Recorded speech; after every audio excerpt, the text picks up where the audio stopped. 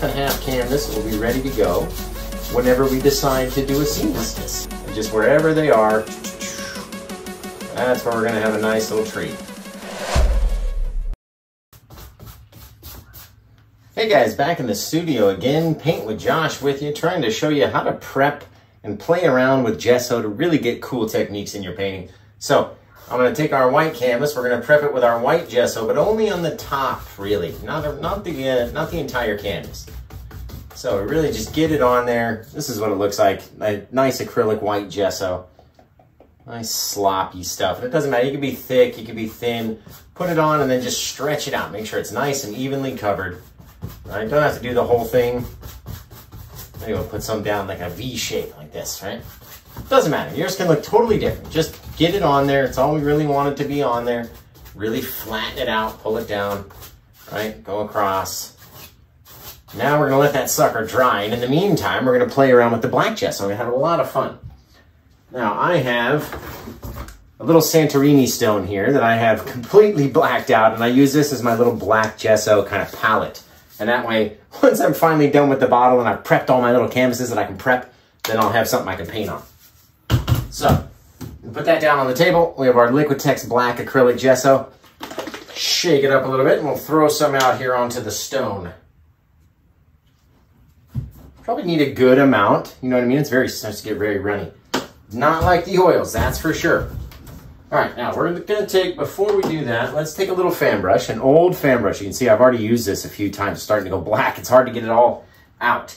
And we're gonna get it in there, but not a whole lot. You don't need a whole lot. It doesn't act like oils. The, the acrylic is very different from the oils. You don't need a whole lot of it. Don't wanna have a whole lot, that's for sure.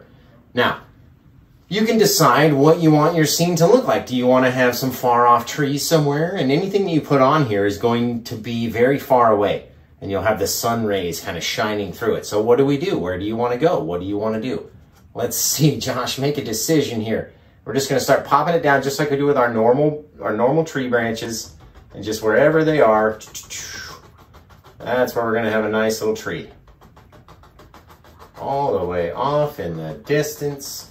Just put them wherever you want to have yours, right? Doesn't have to all be the same. Maybe in this scene, I kind of want mine over here. Flip the brush over now, once it starts going like that and it's not this sharp tree shape anymore, that means you need to get a little bit more paint. So don't go back straight into the big thick pile of the paint though. That's not what you need. You just need a little bit. And who knows, maybe there's a little piece, I don't know, maybe there's a little bit of a mountain that lives back in here. Comes down at the base of those trees, right? So all that we're gonna just end up filling in. Just fill it all in, make it nice and deep and dark. Then anything beyond this point down will be filled in with black. See, maybe it comes down, maybe it just keeps going down this way. Who knows? It's all the way down, maybe there's a little projection, and we got a little bit of darkness all the way down throughout this whole thing. And you can play with your canvas however you want. Make it look however you want it to look. And maybe off the top of this guy, oh, there's a couple little faraway trees making sense with all the rest of our trees, right? Now again, the you can see the bristles start to split out almost immediately. And you don't want to have a whole lot of paint, which means you got to go back many, many, many times in order to get it just right. Okay, maybe off the top of this guy, a little bit closer than those faraway trees, we'll put this little stick down, and then we're to figure out which side is to be best, which is to make the best shape. Right? Maybe we'll pull it out, we'll go this way, and all of a sudden we got a far away little evergreen tree back there. Really far away, right? make him even skinnier.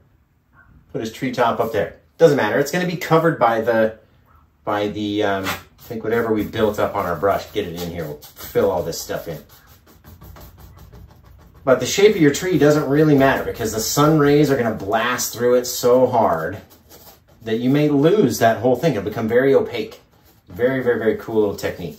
So just filling in on the bottom, whatever we don't want to use, and maybe off. There was a few more little bits down in here. And you can either cover up all of the little spaces and make it really dark, or you can leave some and have them shine through, right? I like to leave little differences. So all these little light areas, you'll get different little vibrancies of the sun coming through. And this is a good way to kind of plan out your, your scene to begin with. Maybe we got this big rock, maybe there's a bit of something down in here, right? So we can just imagine all this stuff. And we can just fill it in, give ourselves an idea. Maybe there's a rock, maybe there's a bit of river that runs through and there's a waterfall back here and it runs back down and runs away. You never know. Whatever you want to do, right? It's all about showing you how I would do it. And then whatever your idea is, is the way you're going to go. Now that's very cool back there. What if we left this kind of open? We could do like a giant mountain. So what if we bring our little trees down or we bring them up here or we come from up here and come down this way. Bam, bam, bam, bam, bam, right? These guys are not as dark as these guys over here. So if you want them to be the same, go back, get a little bit more paint, come back in, fill them in. See how they get much darker and they're much sharper if you're using a, a brush full of paint versus one that's not. Make it black all the way down the side. Nice and simply and easily done. Leave a couple little differences back in here. Don't want it to be too dark. And then we're gonna black out the whole rest of the canvas. Nice and easy. Uh, let's just say all these trees back here. I want all my trees to look the same. Now we're gonna have a couple little details that you try not to cover over when you're done, right? So let's turn it up this way. Really sharp little stick just came up out of the out of the forest over there, right? Maybe there's a bigger, taller tree lives over here. And in order to get him to look correct, let's get a little bit more paint on the brush and just start to pop it in. Bam, bam, bam, bam, bam. That's a big old king tree of the forest back there, right? That's all you need.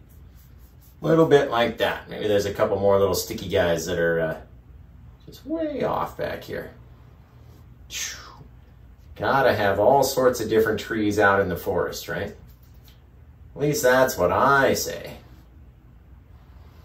Now, some of them can be a little bit thicker, some can be a little thinner. All depends on what you want to do. And then as you play with your with your oils and you start to brighten all this up, depending on where you stick your little sunshine and all that, it's going to be fantastic. Let's put another little guy right in here. Start popping upwards because you know how I like my upward trees. Kind of fill him in so he's, kind of more thick than the rest of the forest, right? See what else we got in here. Literally fill up the bottom. You can take it just so I, you can leave a few little areas like that. Come in here, just make our little swirls. Now we'll switch to a bigger brush, get rid of all of that lighter area in here, right? And then we'll just remember what our plan was. What was our plan? Once everything goes dark in here, how do we uh, plan on doing that again? Do you remember? You guys remember? I can't remember. Right, take the rest, just fill it all in with that dark black. And then by the time you get done, you'll be ready to do a whole brand new scene. And we'll take a little bit of liquid white, we'll cover the top, we'll take the liquid clear, cover the bottom, and everything will be good to go. So again, leave little differences, right? Doesn't all have to be covered in. Literally doesn't. And this stuff does not blend like our our uh, oil paints do, right? It's very hard to get it in there. So I tend to bounce it in, come back, get a little bit more, drop it in, and then stretch it, right? Stretch it until we can't stretch it anymore. And then we'll have a little cool little custom half and half canvas that will be ready to go whenever we decide to do a scene like this.